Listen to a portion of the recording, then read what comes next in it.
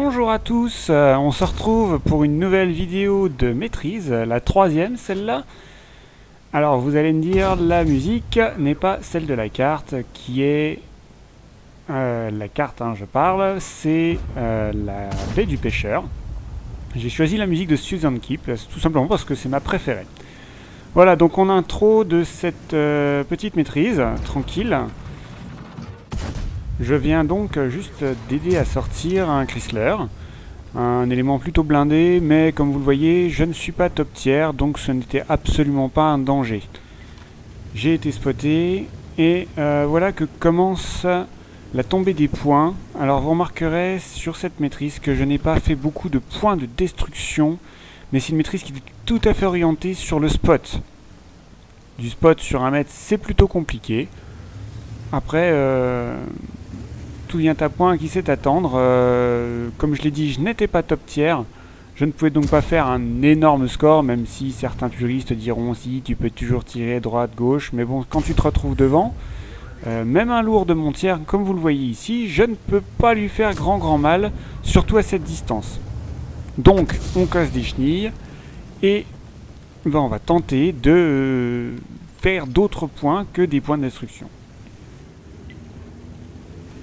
Comme vous pouvez le constater ici, notre position est plutôt bien tenue. Je décide donc de faire un petit changement d'aile, d'autant que je ne l'ai pas encore mentionné, mais je suis accompagné d'un collègue de peloton, euh, Angel Crow, que vous devez commencer à connaître puisque il a déjà fait quelques apparitions sur cette chaîne.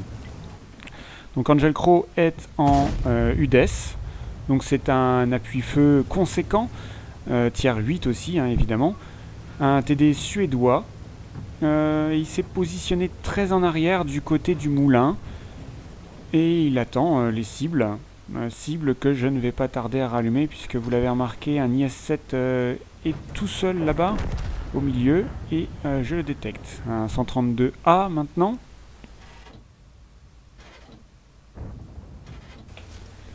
Voilà, premier tir orienté donc de mon collègue sur euh, le 132A qui pensait être bien à l'abri derrière son petit bunker. Je détecte de nouveau l'IS-7 qui campe toujours au même endroit, à croire qu'il a une bonne tourelle, ce qui n'est pas nécessairement le cas.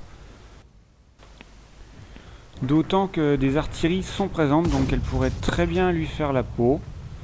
Pour l'instant, a priori, il semble qu'il n'ait reçu aucun de leurs tirs.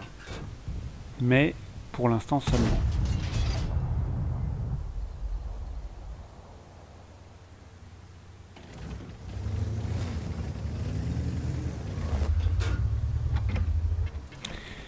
Partie se poursuit donc et je vais chercher à avoir un meilleur point de vue sur ce fameux flanc gauche. Euh, car vous l'avez constaté, sur le flanc droit tout est maîtrisé, les lourds sont passés en ville et ils commencent à envelopper la, la base pardon, ennemie.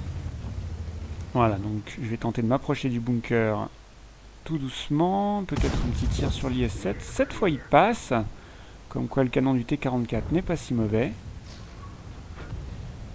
peut-être étonné de voir que je ne tire jamais à la PCR ni à la hit. Euh, j'estime que c'est pas une nécessité de tirer avec ces munitions. D'autant que pour moi ça gâche un petit peu le jeu. de nouveau l'IS-7, je lui en remets une, ça repasse. Et là il se sent un petit peu oppressé.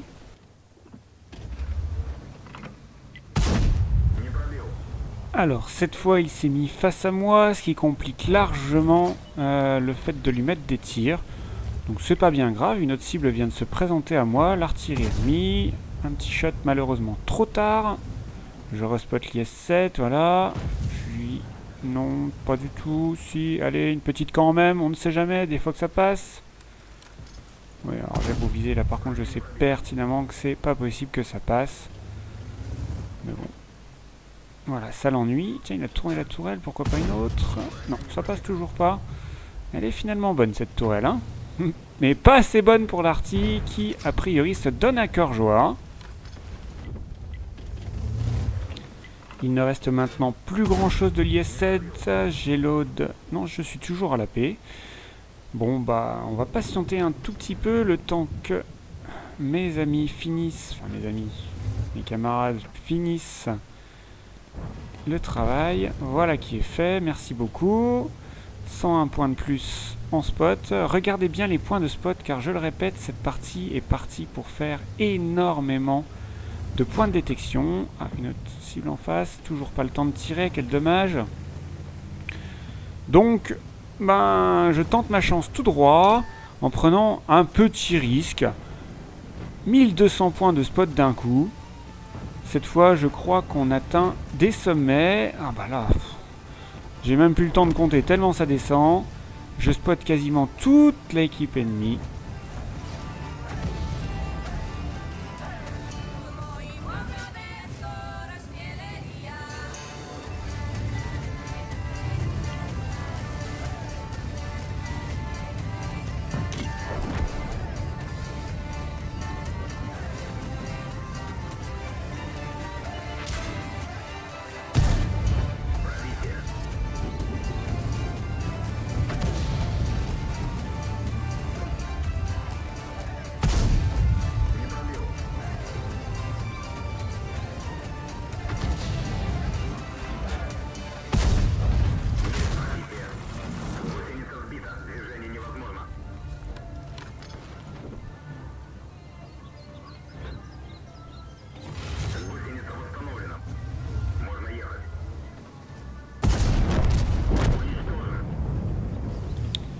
Voici la partie terminée. Je laisse le mot de la fin à Angel Crow. Ah, 1360 d'XP de base, quoi.